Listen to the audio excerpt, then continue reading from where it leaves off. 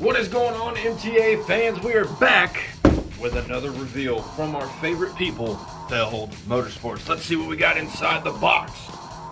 All right, so let's take a look and see what exactly we have inside of our box from one Feld Motorsports. Most of you guys know who that is. Don't you just love how they pack these things? Look at this. I love it. But there's our receipt. We have got King Sling ready to rock and roll on the MTA track. Check this dude out. What a wicked piece of machinery this is.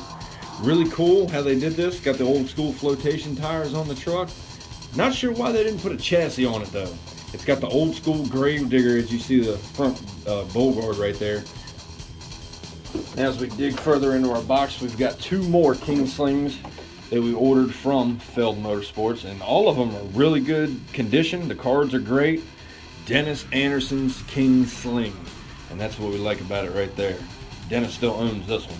Unfortunately, the Gravedigger, not that much the case. This one might have a little bit of a split right here. We're not going to worry about it because the worst one of them all, we're actually going to open and put and race on this track later on tonight. So be sure to check out King Sling. As we take another look here, you can see that they really did a great job getting the body all casted out.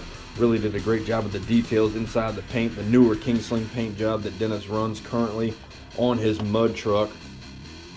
Again, it's definitely got the wrong mainframe up underneath it. We're going to put a Spin Master chassis, lime green, probably do some red shocks, black shocks. Who knows? We can go several different ways with this design.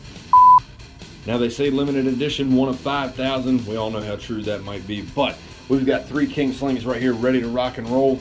And we are going to tear them up on the MTA track sooner than later. And you guys are going to be able to watch these things rip, roar, and let it fly. So stay tuned to watch King Sling in one of our short grudge match races later on today.